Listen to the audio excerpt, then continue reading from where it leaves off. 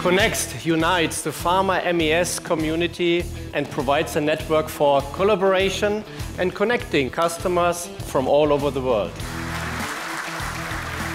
Yeah, I, am using PAS-X since 2019. So we have dramatically reduced uh, release time in our manufacturing uh, facilities. People are really getting used to it as something that they use in the production as, as their, I would say, best friend. I think that it's a, as a set of tools, it's very comprehensive to the needs of, uh, of the pharmaceutical industry.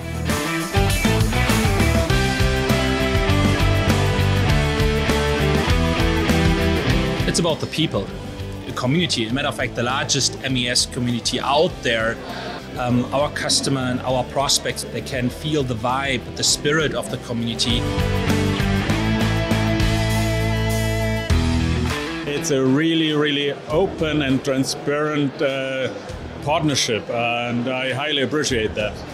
The work together with the Körber project team is excellent. Without them, we would not have been so far as we have reached out right now. There's always a lot of energy in the room, always. I did quite some workshops in this format, and every time it's just pure fun.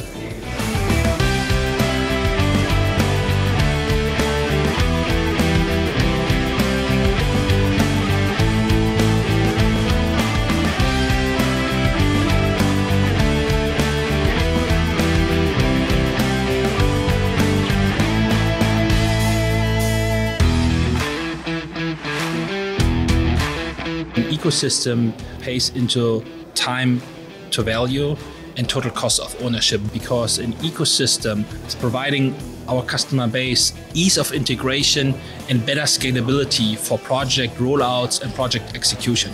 With a kind of ecosystem approach, we have all the best of breed vendors to answer this kind of demands and questions.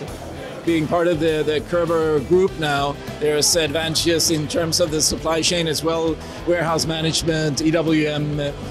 Very happy with the collaboration we have today and they really want to hear what are the customer voices. And I think that is very important. And also a good attitude that they say, okay, at least once a year, tell us what is really pressing you, what is important for you, and haven't seen that at any other company. So.